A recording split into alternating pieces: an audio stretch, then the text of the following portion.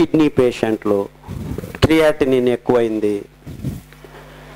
ఇంకా diabetes BP glucose ఎక్కువ అవటం తక్కువ అవటం కిందికి పోవటం పైకి పోవటం ఈ కంట్రోలు టక్కని అదంతకదే వచ్చి కూర్చుంటుంది మీ దేహంలో.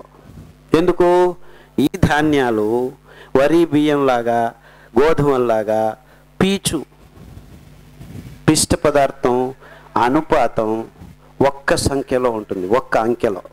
అంటే కొర్రల్లో అరవై పీ పిష్ట పదార్థం పీచు పదార్థం ఎనిమిది. అరవై బై ఎనిమిది. ఏడు వందల యాభై ఆరు సెవెన్ పాయింట్ సంథింగ్.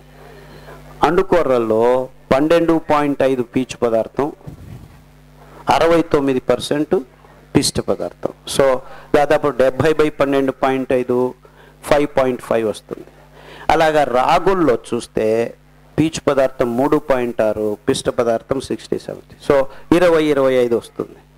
బియ్యంలో వరి బియ్యంలో చూస్తే పిష్ట పదార్థం సెవెంటీ నైన్ పీచు పదార్థం పాయింట్ టూ. అంటే అనుపాతం మూడు వందల తొంభై ఐదు. ఈ ఒక్క కారణానికే ఈ టెక్నికల్ సైంటిఫిక్ పాయింట్ ఈ ఐదు ధాన్యాల్లో పీచు పదార్థం పిష్ట పదార్థం అనుపాతం ఒక్క అంకెలో ఉంటే మిగిలిన ధాన్యాల్లో అన్నిట్లోనూ ఇరవై ఇరవై ఐదు కంటే ఎక్కువ ఉందన్నమాట. అందుకే ఈ పీచు పదార్థం పిష్ట పదార్థం పొరలు పొరలుగా అంతర్లీనమై సంక్లిష్టంగా సంకీర్ణంగా దేవుడు రచనాత్మకంగా ఈ ధాన్యాల్ని సృష్టించడం వల్ల మన దేహంలోకి రక్తంలోకి గ్లూకోజు అంచెలంచెలుగా సమాధానంగా సంయమంతో సమతూలనంగా చాలా నియంత్రణతో విడుదల కావటం వల్ల రక్తంలో గ్లూకోజ్ సమతూలనంగా ఉండటం ఈ ఐదు ధాన్యాల వల్లనే సాధ్యమవుతుంది అని మేము వచ్చిన డయాబెటిక్ రోగులకి ఒక ఐదు మందికి హెచ్బిఏవన్స్ ఐదు ఆరు ఏడు ఉంటే బాగున్నారని. వాళ్ళకి ఏమి ఇబ్బందులు కావు.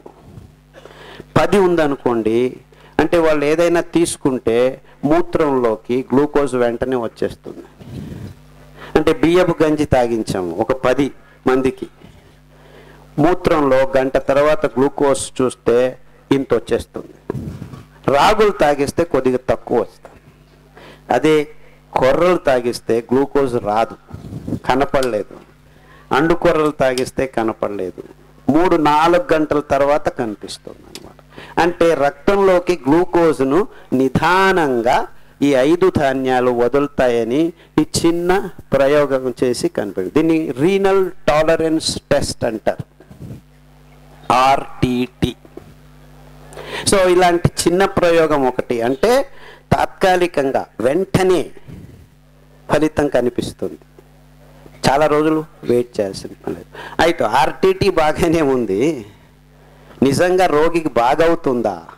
అంటే ఆరు నెలల తర్వాత రోగి బాగానే ఉన్నాడా? ఆరు సంవత్సరాల తర్వాత బాగున్నాడా? పది సంవత్సరాల తర్వాత బాగున్నాడా? సో ఇలా మేము గడిచిన పదహైదు ఇరవై సంవత్సరాల నుంచి రోగుల్ని ఫాలో అవుతూ వందల మంది ఇన్సులిన్ తీసుకున్న వాళ్ళు కూడాను వదిలేసిన తర్వాత ఇప్పటికి ఏడు ఎనిమిది పది సంవత్సరాలైనా హ్యాపీగా ఈ సిరిధాన్యాన్ని తినుకుంటూ ఏ ఇబ్బందులు లేకుండా జీవితాన్ని గడుపుతున్నారు.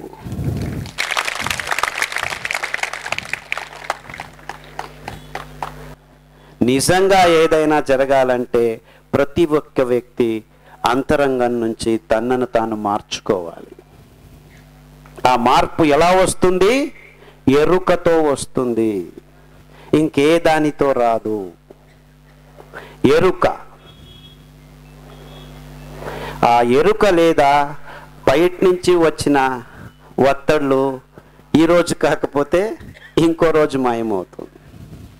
సో ఎవడో చెప్పాడు అని మీరు సిరిధాన్యాలు తింటూ ఉంటే ఓ పది రోజుల తర్వాత ఇంకా అది అలవాటు కాకముందే మీకు మాన్చేస్తారు.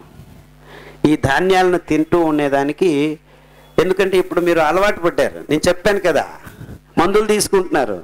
టక్కని వదిలేసి టక్కని దీనికి రాలేరు. సో నిదానంగా ఎరుక ఉంటే దీన్ని మన ఆహారంగా స్వీకరించాలి అని ఒక చలము మీలో మొదలైతే అప్పుడు ఎన్ని అడ్డంకులు ఉన్నా ఇప్పుడు ఇవి లేవు దొరకట్లేదు. కానీ మీరేం చేస్తారు? చలం ఉంటే మెల్లిగా వెళ్ళి ఆ రైతుకు ఇచ్చి ఏ పెంచివరా నేనే తీసుకుంటాను అని చెప్తారనమాట